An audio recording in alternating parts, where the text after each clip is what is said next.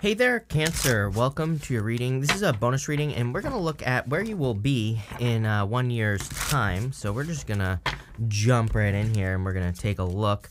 Uh, we're actually going to first look at the where you will be in six months, and then we're going to clarify. And uh, the clarification plus what we have here will be the full year, if that makes sense.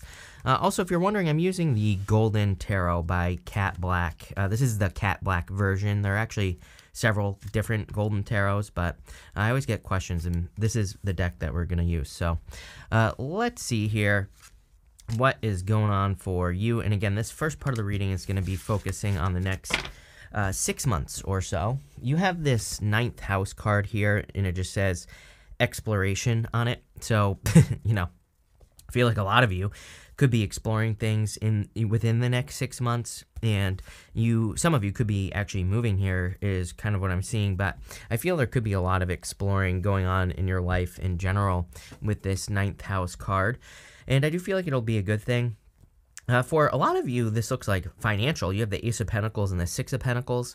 The way that I see these two together is that the Six of Pentacles is trying to figure out how to get the best bang for your buck trying to figure out like how what are the things that i do that make me the most money? What are the things that i do that lead to the most financial balance in my life? And so i feel a lot of you are exploring those ideas and we'll be exploring more, those ideas more over the next six months and it's just going to lead to probably more money.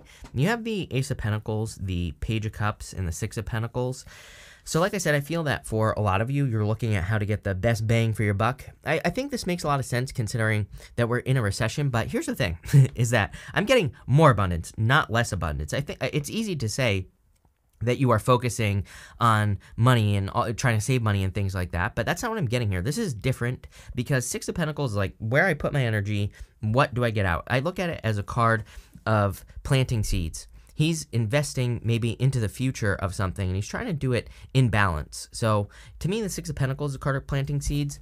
Also, the Ace of Pentacles is a card of planting seeds because it kind of represents the garden. Even uh, a lot of tarot books, they refer to the garden. They kind of talk a lot about the garden, I should say, that is on the Ace of Pentacles. So, it, a garden, when you think about it, if you want your garden to grow, you have to take care of it, you have to fertilize it, water it, all that other stuff. So, I feel you are very much focused on finding ways to increase your finances, finding ways to grow your finances, your business, how you make money, whatever the case may be. I feel you're very I feel you will be successful at it as well. You also have the Page of Cups. Page of Cups I partially feel is your imagination.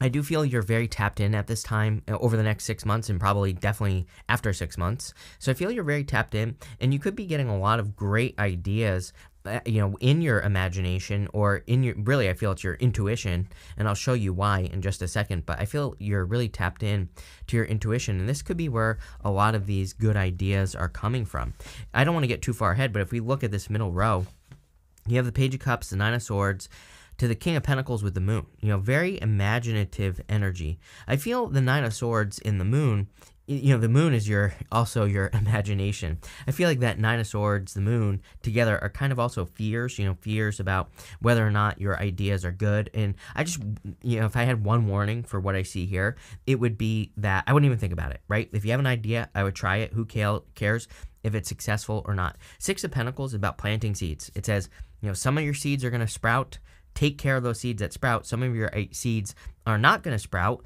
Just, you know, let them go. and it's just that simple. And that's what I would do here. Uh, next, you have this disseminating moon card. It says, take what does it say? It says take time to breathe out, right? Make sure that you are breathing. Make sure to watch out for tension as well.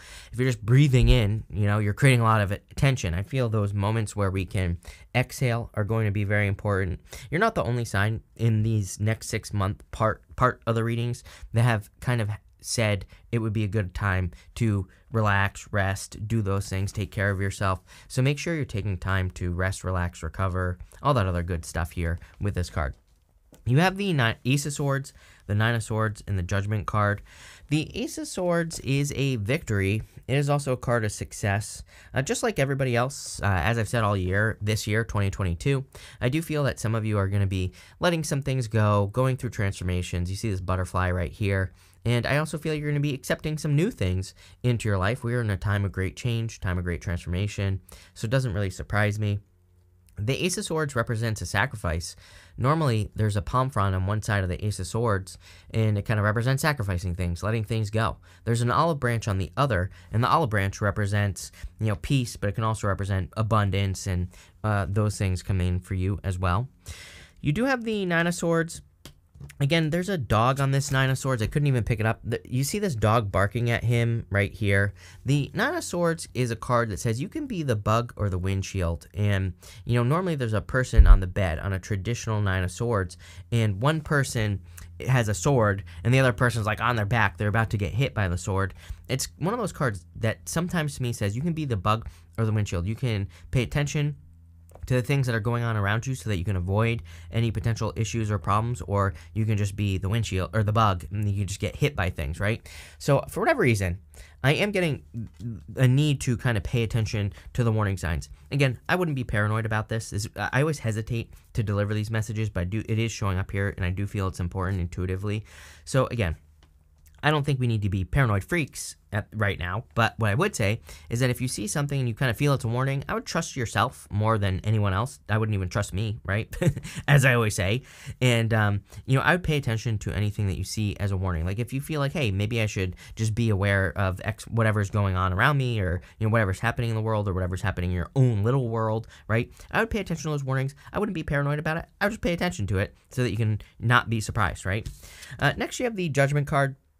I do feel that you're waking up to something here, and this could be your a dream. You have the Knight of Cups right next to it. I, sometimes I look at the card next to whatever this card is, you know, and I just say like, what is, what are they waking up to? And I feel like you're waking up to maybe your true purpose or uh, something that you've been dreaming of working on for a very long period of time. It's almost like the universe is helping you out here in this last row for you to accomplish your true purpose. Personally, I believe that our purpose here on earth is to create our own reality, whatever that is for you, and to, you know, create more joy and abundance for everyone uh, in the world. And, you know, but what I would say is whatever you think your purpose is, I feel like you're getting closer to it.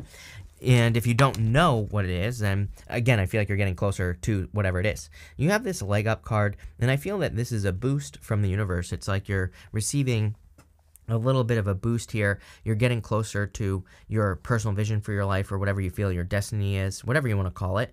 And I feel that you're this could potentially be a person, but I also feel it's kind of the universe as well. The reason I say that is that you have the Hermit right here. The Hermit is a card of having gone through a dark night of the soul, and we'll talk more about that in a second, but you have the Hermit, the King of Pentacles, the Moon, with the Knight of Cups. The Hermit, again, He's gone through a dark night of the soul or something similar, and he has done this to find some inner answers. The hermit kind of represents a rite of passage as well, so it can represent a period of time where you've gone through something difficult, maybe over the past, you know, certain amount of time, whatever it is, and now you're coming out on top. And because of that, you could be receiving like a reward from the universe or a gift from the universe, whatever you want to call it. I partially feel that this gift is being lifted up. I also feel that there could be a person who is very helpful to you on your journey. This could be love, although I feel this person here is one person, by the way. I feel they embrace both of these energies, the King of Pentacles and the Moon. I feel like they're very resourceful, very stable, very successful, probably in life. And the Moon could be very intuitive as well. So they probably have like an intuitive side, or they just have that gut sense, is really what I'm picking up on here with the Moon. So this could be an earth sign, could also be a Pisces, take it how it resonates, but I kind of feel this is more of the person's energy, and I feel that if you have a person like that in your life, that they could be very helpful. If you don't have a person like this in your life, I do feel that there will be a person just like this entering into your life. Uh, for most of you, intuitively, again, I feel this could be a friend. So I feel like this person is either becoming a friend or you're meeting that this person with friends. And I also feel that this person could be very specifically kind of it's almost like they're a guide in your life. I you know i i wouldn't give them that much power but what i would say is you know i feel this is a person who can help you like in business or in your career. It's they have some good ideas or maybe they have a skill that you don't have and it's kind of like you work together. So if you've been hoping to find a business partner or someone who can just help you or just have a person that can help guide you looks like there is a person coming in for you And uh, finally, you have the Knight of Cups here. Knight of Cups is a knight in shining armor. Some of you could be being swept off your feet for sure in love. So I definitely feel it doesn't even want to focus. Uh, I definitely feel love for you here, Cancer, with the Knight of Cups. I'm not even going to try over there. So I feel if you want love, this could be a person coming in for you. And I do feel it could be another water sign. Uh, for others, Knight of Cups, he's dreaming of his future life. He's dreaming of all the things that you know he wants to have, do, create, whatever. And I feel some of you are kind of getting closer to your dreams, right?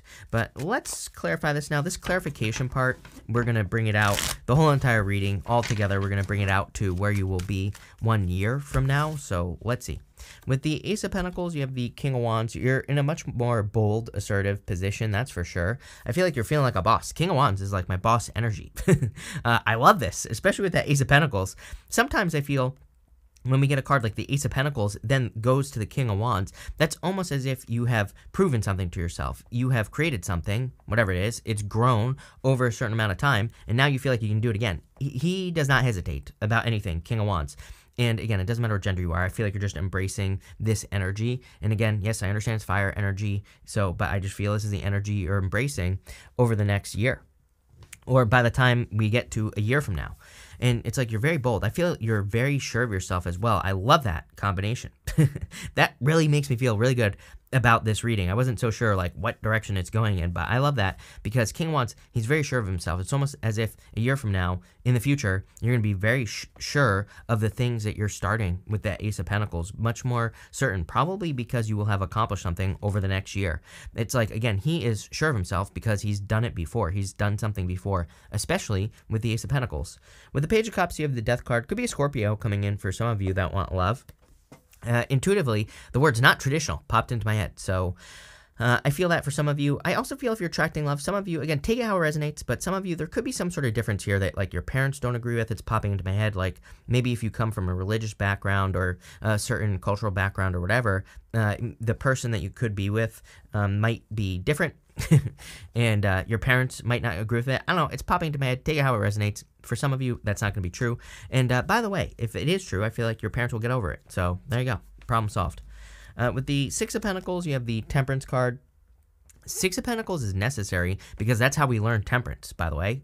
Uh, you know, Six of Pentacles is planting seeds, figuring out what works.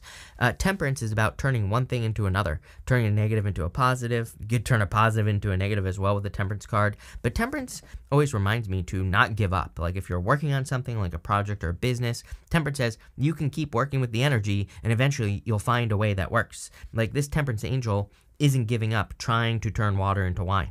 Six of Pentacles very similar because with Six of Pentacles, you're planting seeds, you're figuring out what things work, what things don't work in your life or in your business or in your love life, and then you're going with it. The thing with Temperance is I think that it's important to build like a library of things that work in your brain. It's like when you learn a bunch of ways to get things to work in business, if it works in one business, it's probably gonna work in another. So you become very well rounded.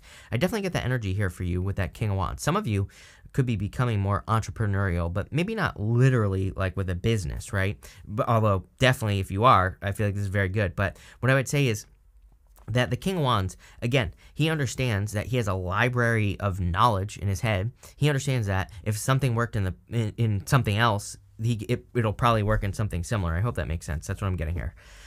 With the Ace of Swords, you have the uh, Nine of Pentacles. Definitely a lot of abundance coming in for you. I'm telling you right now, uh, abundance looks dope for the water signs, I have to say. So I feel there could be a lot of abundance just coming in for water energy in general. Becoming much more self-sufficient as well with that Nine of Pentacles. With the Nine of Swords, you have the Nine of Wands, all these nines. uh, multiple nines to me represent newness, just in general. Nine of Wands is also my card of experimentation, so I feel it'll be a great time for you to experiment, try new things, um, come up with new ideas, probably in all areas of your life. Uh, you're actually the only sign that's gotten this so far. In 2022, every single sign had something about experimenting. So you're like the only one that still has this experimentation energy. With the Judgment card, you have the Eight of Cups. Yeah, I feel this is you walking away from your old life. Uh, on the traditional Judgment card, the people are rising up from the coffins. The coffin represents their old life. Outside the coffin represents their new life. They're kind of like being called out towards their destiny or their purpose, which I'm pretty sure I said at the beginning of your reading. Uh, so that's pretty interesting. I really don't feel bad about that Eight of Cups at all. Uh, with the Hermit, you have the Eight of Swords. Again, Pisces had this card in the exact same position as well. Pretty interesting. Eight of Swords is only seeing one way of doing things. It, you know, I would say that this is a danger between now and 2025. I wouldn't call it a, da a danger. It's just really something I would be thinking about if I were a water sign, and I am. So I think about it all the time, right? that with Neptune and Pisces, I kind of lean towards that being part of the problem. The other part of the problem is Uranus and Taurus. Too much, it's too fixed, Uranus and Taurus. Uh, the um, Neptune and Pisces, I feel, kind of makes things a little bit more murky, a little bit more cloudy, even though it is considered, you know, good for water. I kind of disagree with that, number one. Number two, I feel like it's good for intuition, but maybe we don't have kind of the markers that we normally would when we're making progress in life. With Neptune and Pisces, it's almost as if we have to make progress based off of our own inner voice, our own feelings, our own intuition. It's like there, we don't get the typical feedback that we normally would. So the Eight of Swords just says, you know, very easy solution. Don't only think that there's one way of doing things. There are multiple ways of doing things. This whole entire diagonal pretty much says that, you know. Six of Pentacles experimenting, Nine of Wands experimenting. So I would be experimenting. With the King of Pentacles in the moon, you have the Queen of Swords, seeing things clearly. The fog is lifting, I will say. So if you've been experiencing that fogginess, the lack of clarity, not feeling like you don't know what to do, I do feel the fog is lifting. And with the uh, Knight of Cups, you have the Page of Wands. Definitely time to go on an adventure. So I feel for a lot of you, it could be adventuring. You have that nine, uh, ninth house card in the Page of Wands. But these adventures, again, could be you learning something new. It could be you experimenting. That is an adventure. Finding all the ways to run your business, right? And finding the best way. You could be really refining things. It's almost like this reading is a refinement process where it's like you have something good, but you I feel like you can make it better. Whether it's a business, a relationship, or all of the above, or a hobby, could be your social life, could be anything that you want to fix or make better. And I feel this reading is kind of like talking about being a refining process. I also forgot to mention, I've forgotten to tell everybody that I'm going to pull five main themes that you're going to be dealing with over the next year as well.